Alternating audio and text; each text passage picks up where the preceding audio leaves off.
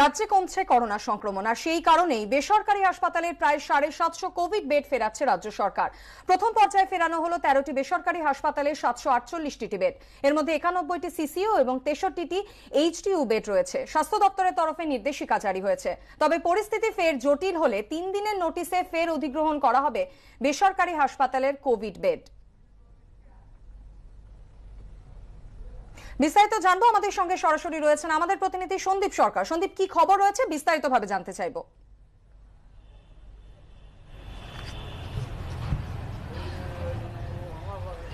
দেখো, গত কয়েকদিন ধরেই রাজ্য স্বাস্থ্য দপ্তরের প্রকাশিত মেডিকেল বুলেটিন অনুযায়ী দেখা যাচ্ছে যে রাজ্যে করোনা আক্রান্তের সংখ্যা ক্রমশ কমছে। সরকারি বেসরকারি হাসপাতালের বেডগুলিও রোগীর চাপ যেটা আগে ছিল তার থেকে অনেকটা কম। এই রকম একটা অবস্থায় রাজ্য সরকার সিদ্ধান্ত নিয়েছে যে বিভিন্ন বেসরকারি হাসপাতালে যে কোভিড বেড রাজ্যের তরফ থেকে অধিগ্রহণ করা হয়েছিল, সেগুলি ধাপে ধাপে এবার ছাড়া ছেড়ে দেবেন তারা। প্রথম ধাপ হিসেবে সাতশো আটচল্লিশটি কোভিড বেড ছেড়ে দেওয়ার সিদ্ধান্ত হয়েছে। ইতিমধ্যেই রাজ্যের স্বাস্থ্য অধিকর্তার তরফে নির্দেশিকা জারি করে বলা হয়েছে যে এই সাতশো আটচল্লিশটি বেড রাজ্য সরকার ছেড়ে দিচ্ছে।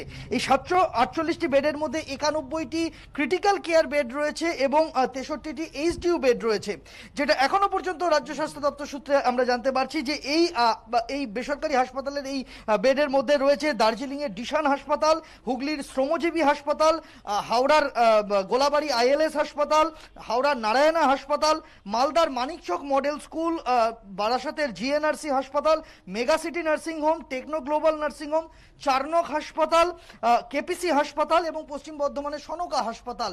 এই তালিকা প্রকাশ করা হয়েছে রাজ্যের তরফে এবং এর পাশাপাশি এই নির্দেশিকাতে এটাও উল্লেখ করা হয়েছে যে, যদি পরিস্থিতি আবারও জটিল জায়গায় যায়, তাহলে তিন দিনের নোটিশে এই ছেড়ে দেওয়া বেড পুনরায় অধিগ্রহণ করতে পারে রাজ্য স্বাস্থ্য দপ্তর সংশ্লিষ্ট হাসপাতালগুলিকে সেই তথ্য জানিয়ে দেওয়া হয়েছে। ধন্যবাদ। সন্দীপ।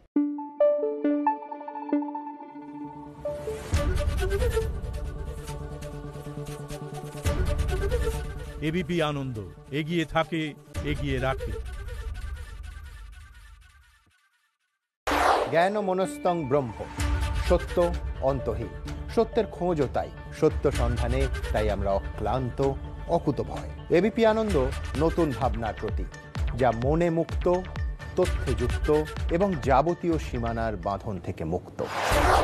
সীমা না, শব্দটির মধ্যে লুকিয়ে আছে মানা শব্দটি, যেন চোখ রাঙানি, এক অদৃশ্য বেড়াজাল যা আটকে রাখে আমাদের এক ছোট্ট গণ্ডির মধ্যে। একমাত্র সঠিক খবরই গড়ে তুলবে এক মুক্ত সমাজ। সেই জগৎ গড়ার লক্ষ্যে কোনো সীমানার ঠুকুটি আমরা মানব না। এবিপি আনন্দ। এগিয়ে থাকে এগিয়ে রাখে।